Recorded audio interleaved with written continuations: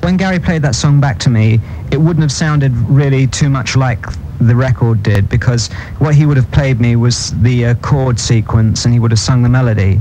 Now, really, the thing which makes the song sound which gives it that real Bach flavor is the organ playing. And of course, that wasn't there. So when Gary played that song back to me, I would have just liked the changes and the melody. The Bach thing came later.